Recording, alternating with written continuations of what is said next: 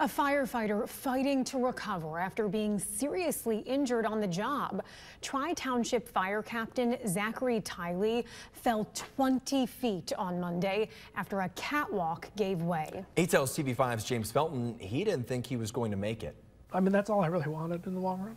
Zachary Tiley just wanted to see his wife and kids Monday. That's when the Tri Township Fire Department captain was hospitalized after falling 20 feet. His crew was battling a fire in Chesaning when the catwalk he was on gave way. It seemed like it was a long time, but it really wasn't. But I hit the ground, rolled over, and I was just in an extreme amount of pain at the time. And the only thing that went through my head at the time was this is how I'm going to die. It's hard for Tiley to describe how much he was hurting. And now, just a few days removed from the incident, he tells me he's in excruciating pain. Two fractures on my T12 vertebrae, and a fracture on my L1 vertebrae, and, and numerous amounts of uh, bulging discs in my lower back and my L lumbar, I guess we call it. And for now, he's not able to join his fellow firefighters when emergencies happen. It's hard because I can still listen to the calls and whatnot, but I just I just want them all to be safe too. Zachary's wife Sarah is helping her husband recover. She says the holidays mean a lot this year after this week's close call.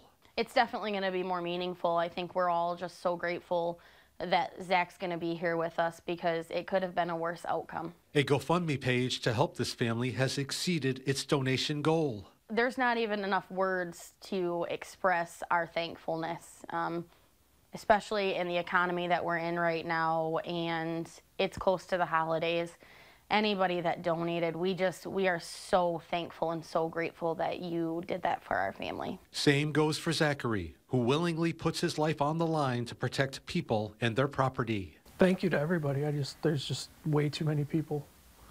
Whether it's you know the people that helped me on scene the gentleman who rode with me in the ambulance uh, the ambulance crew the trauma staff um, phone calls, letters, cards, food, donations, everything. There's just there's way too many people to thank, but thank you to everybody. What a powerful story. Tiley is hoping to return to duty after the start of the new year.